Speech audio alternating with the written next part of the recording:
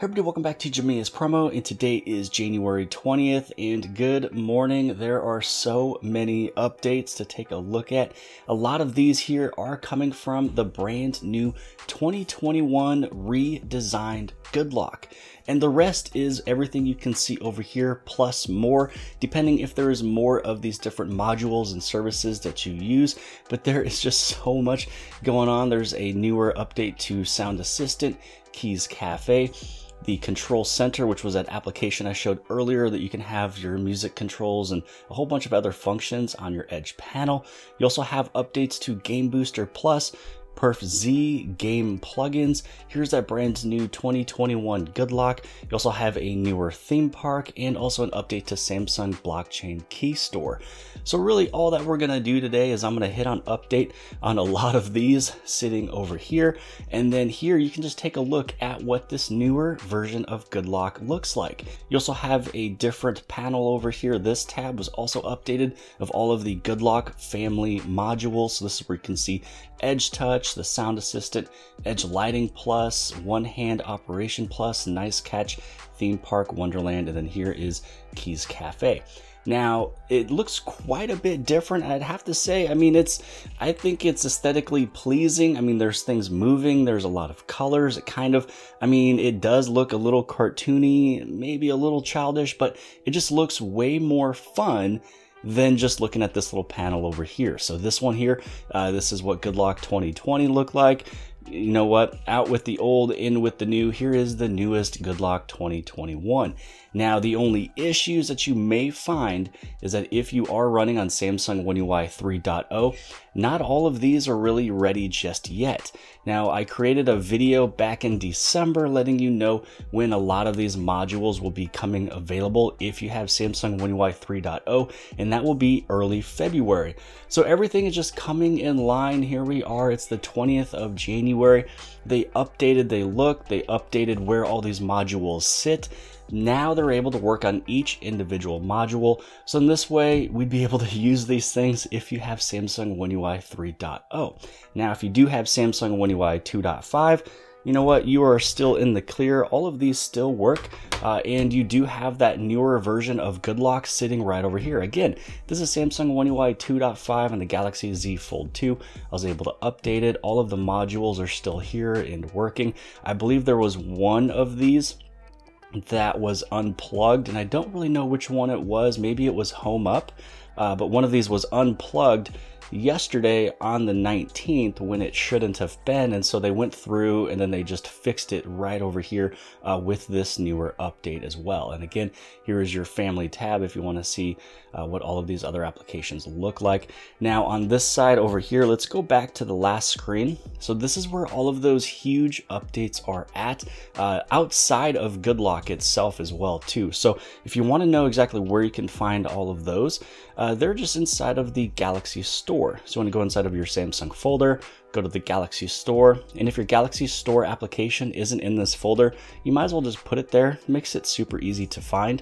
Then once you're inside of the Galaxy Store, this is your home page. Uh, on the very top left-hand side, you go inside of what's new, you hit on updates, you can see that there's 11 of these things. Now, if you wanted to read what all of these have for brand new updates. Uh, you can actually go through and read everything here. Uh, so you got the good lock, you got the theme park, here's your game plugins.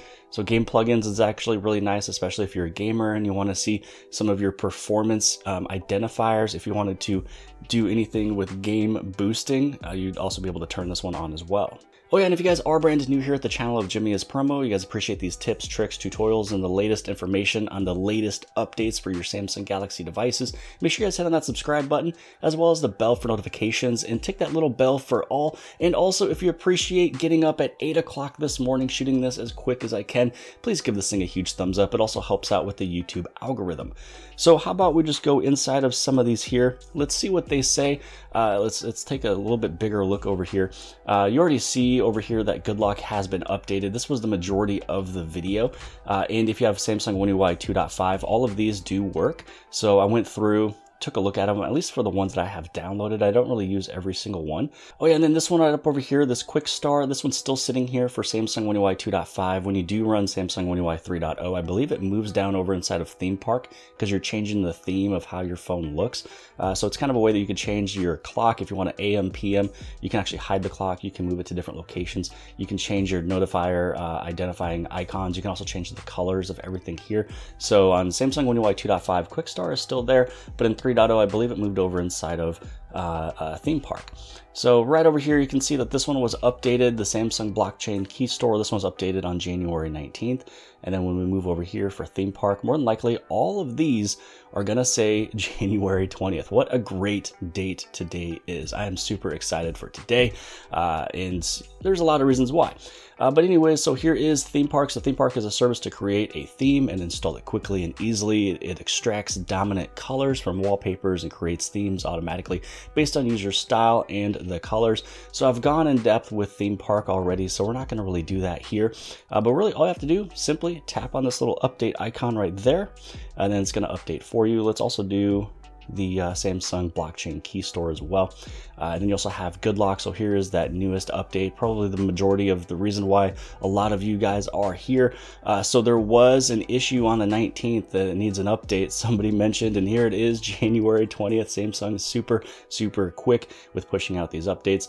If you want to read the description of exactly what uh, this is, you'd be able to read the description there. And then if you move on up just a little bit, you'd be able to take a look at what is brand new. So improves how to activate uh, the GoodLock plugin services disabled due to unclear cause. So if you tried up, uh, opening GoodLock the other day, it was just a, an issue, but here it is. It, it's an updated version, and that's probably the reason why it didn't really work. So here we go. Let's just update that one as well. You also have game plugins. Game plugins is one that I use sometimes here and there if you'd like to get just a little bit more uh, oomph when you play your games. This one was also updated yesterday itself. Uh, the description here, it's a performance solutions for games. So if you've never seen it before, it's right here. You have all game plugins in one place. So before you saw uh, that there was an update for like uh, Perf Z and I believe the Game Booster Plus. So inside this one application of game plugins, then you're able to download this here. Uh, you're able to uh, also set daily limits. Here's your Perf Z. This is where you can show your CPU, GPU. You can show your temperature show the frame rate of when you're playing your games. Um, and then you also have this Game Booster Plus. So when you go inside of here, you can choose if you want it to, you know, really be uh, at its highest output, lowest output, or, you know, something that's just kind of in, the, in between, optimized, something good for battery and everything else. So let's update that one. So if you're looking for newer modules, different applications, take a look at these Now that that has been updated, we can definitely update these here, which is the Perf Z and Game Booster Plus, which was the two that we just got done talking about. Then when you go uh, to these next ones, the Control Center, this was one that I was a huge fan of. I actually, I called it the number one application of 2020 just because there is so many different things that you have here uh, that you're able to uh, use as tools. You can open up your calendar, you can go back, things like that. But really, it's this top page here that I use a lot, especially when it comes down to music. It makes it really easy. You don't have to pull down the notifications panel or go into an application, you're going to have it sitting right there. But then you also have a calculator, you have some other quick tools. You can turn on your flashlight really quick. I mean, you can do some of that with the notifications panel on top, but the way that this one operates is just a little bit better.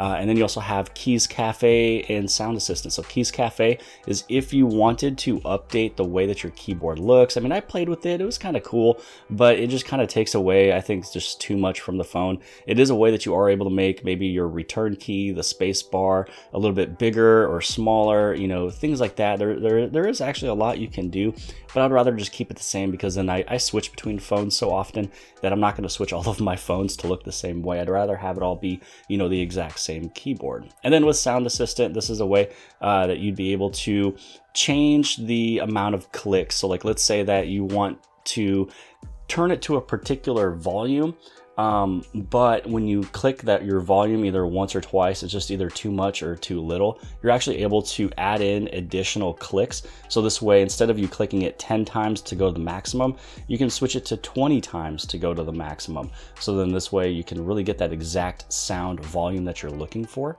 Uh, and then you also have the uh, individual apps on volume control. So if you're watching two different programs, maybe listening to music, watching a quick YouTube, or maybe listening to music, looking at Facebook real quick, you can have you can turn down your music really quick. You can turn up your Facebook, and then when you're done with the Facebook, then you're able to turn it right back down, and then turn your music back up, and, and things like that. You can also change where you want your volume rocker to be. But because I already do have Samsung One UI 3.0, there's no reason.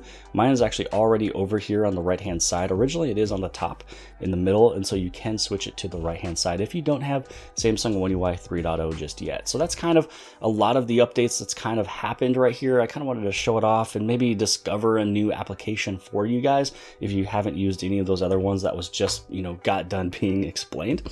So now let's just kind of go right back inside of here for Good Lock. If you're not too familiar with Good Lock itself, uh, basically over here you have Quick star You can change the way again, uh, as I mentioned from before, you can change the way your notification pa uh, panel changes. So this quick notifications here, uh, the way that it kind of looks again on 3.0, it did move over inside of Theme Park. For Task Changer, this is how you're able to change the way that your recent tabs look. If you want to have a lot of blurring effect, the gesture cube effect, um, and then also too, you can change the layout of how your recent screens look. And I always go to this one for some reason. It always feels to be the most helpful.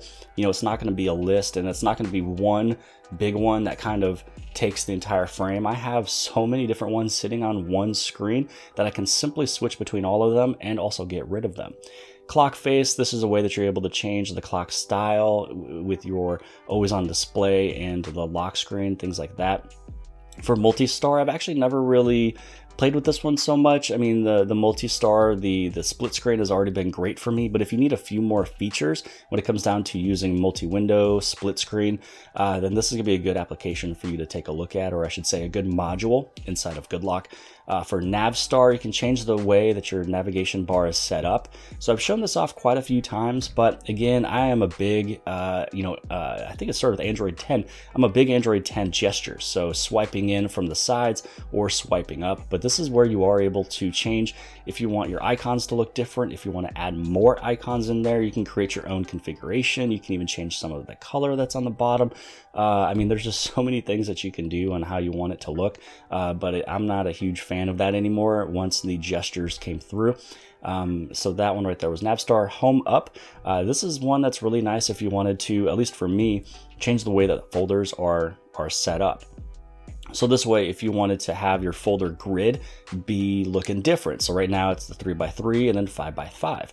So right now you can see it is three by three. You can switch it to more if you want it to be three by four or four by three. And then when you open this up, it goes five by five. You can change the layout of that. And that's all done in Home Up. So I know a few people has been asking me if they can change the way that their folders look, uh, but you're gonna have to get that one done uh, through through Home Up itself. And we gotta just make sure that um, you know Home Up is starting to work here with Samsung One UI 3.0. And then last up is going to be NotiStar. So NotiStar is a new notification management service. So really, if you get notifications coming through, you can set up how you want it to look. But I'm excited and, and pleased with what Samsung One UI 3.0 gave. And, and even though I am running on Samsung One UI 2.5 right here, I still I still dig what Samsung has done, but if you want to customize yours, you can do that. You can add in filters and you can change the way uh, you know all the different orders is. Uh, Keys Cafe again, you can change the way your keyboard is set up. For Wonderland, you can make different um, background effects. So if you wanted to have some some pretty cool backgrounds you know going on and and, and you can put in your own images you can have things move around. It's it's, it's kind of cool but uh, for me i'm just not really into that. Um, then you also have theme park. So theme park again is a way that you're able to fully customize the way that your phone looks. So on samsung one ui 3.0 the theme park for the notifications panel and stuff like that is going to be switched over here. So you can change your theme of the phone. Uh, you can also change your keyboard and then you also have some stuff that is TBD that hasn't even been released. Then you also have Nice Catch, so it's a way that you're able to take a look at all these different notifications that come through, or if a vibration happens and you don't really know what it is, uh, you can take a look at the uh, the toast history, the call mode, ringer mode, and vibration history. So this is just letting you know what has made your phone vibrate, uh, and it's because there's maybe something with your Android system, letting you know about an update. And then you got a messages that happened there, and another message that happened there, something from Samsung members. So if you want to take a look at your different notifications that comes through or something that woke up your screen then you're able to go back in time to see what really made your phone vibrate. If you if you fully got rid of a notification real quick and then you don't really know what you swiped off, you're able to take a look. Then you also have your one hand Operation Plus, so it's a way that you're able to use your phone with one hand. And then we talked a little bit about Sound Assistant. So that is it for today's video. What do you guys think of the brand new redesigned Good Lock 2021? It everything does work here on Samsung One UI 2.5. It's all looking good. It's all plugged in. When it comes down to the modules over here on Samsung One UI 3.0, they are not plugged in just yet. So again, I didn't really plan for this to be done until the Galaxy S21 was supposed to be released, which is coming on January 29th. So that's why, you know, everything was already stated from before. Even the team of Goodlock stated early February for Goodlock because you got to make sure you have Samsung One UI 3.0 pushed out to other phones. Samsung One UI 3.0 is more important than Goodlock itself. So 3.0 is more important. That's what's being worked on first. Then once all that is being rolled out, which it has been and is and will be, then you have the Galaxy S21 coming out with, Sam with uh, Samsung One UI 3.1. And then you're going to have Goodlock being updated, pushed out, newer modules once everything is pushed out. It's a perfect time schedule. Uh, so again, I'm just super excited for that uh, phone to be out. That means a newer version and all these modules will be working on 3.0. But hope you guys have liked this video. If you guys did, please give this thing a huge thumbs up. Don't forget to hit subscribe. Subscribe right over here on the very bottom left hand side. And if you like this video, then more than likely you'll also like this video. And I'll see you guys later.